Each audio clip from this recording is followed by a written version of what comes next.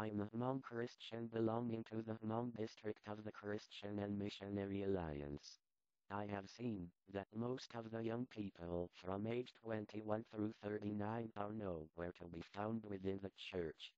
Has the church forgotten about us and left us no choice but to leave? I often think about the state of church and wonder if we will truly be saved as well as our children.